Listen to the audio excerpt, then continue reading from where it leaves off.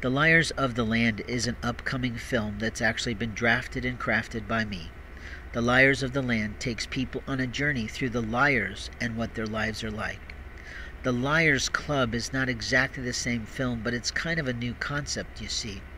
There are people in Catholic communities that are teaching their children to lie as if it's right to do.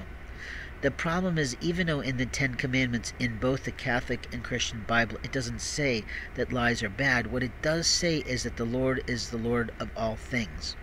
But when a human being tries to lord over someone's life, body, rights, soul, heart, or mind, they have been an abomination to that Lord.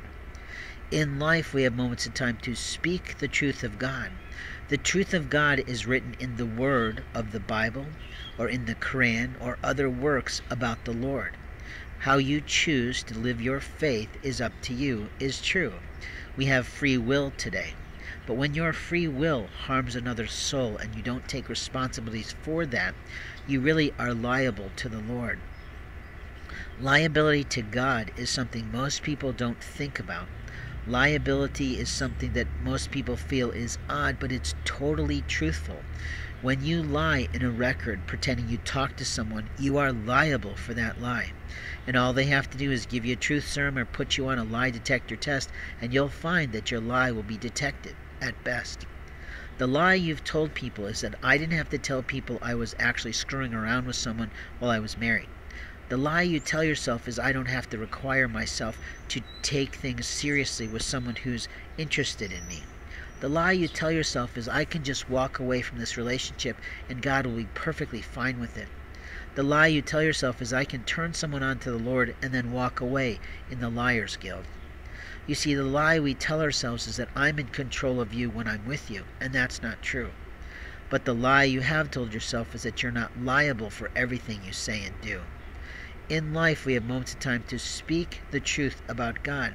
And whether you're Christian, whether you're Muslim, whether you're Catholic, it doesn't matter. What matters is what you do in this world. And when you lie about your rights to take something precious from a girl and refuse to marry her, that's on you. When you lie about your rights to flirt with a man's heart, mind, and soul and then walk away for some player, that's on you.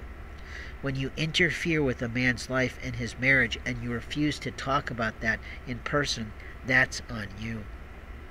When you destroy a person's medical rights in your lie of taking them out of your clothes, that is actually a form of sexual assault, sexual abuse, and practically and possibly rape.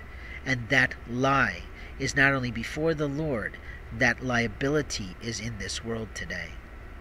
In life, we have moments of time to speak the truth about your own lie. Sometimes we have these ideas that we should give a confession or we should tell our testimony. Your testimony only matters to people who care about you. Your testimony only matters to people who want to be around you. But your care of other people is visible to other people. And when you lie to those people saying, Oh, I talked to him, everything's fine, or I talked to him and he's a psychopath, that is a lie you've told yourself. Because maybe you didn't actually talk to them. Maybe you just took a car and drove into the town and drove around and then lied about what you were doing there. You see, your lie is thinking you have rights to someone else's life, and you don't have any rights to anyone's life. You see, we earn our way into people's lives, but when we steal ourselves away from that relationship, when we taint the relationship with our own lies of what they allegedly did to you, you've told the lie in front of the Lord that makes you liable and what the Lord can do is put you in front of marvelous people who you think are just right for you, and then they'll start to monkey with you. And when they start to monkey with you, you won't even be aware of it because you're so convinced of the lie that you're telling yourself of who you should be with and how you should play and what you should do that your lie catches up to you. The lie about you is not only the lie about you, but the lie about you is what you tell yourself about your rights in other people's lives. But when you turn the head of a man whose heart is actually turned, whose soul is actually churning for you, you better believe you are liable to the Lord for that today.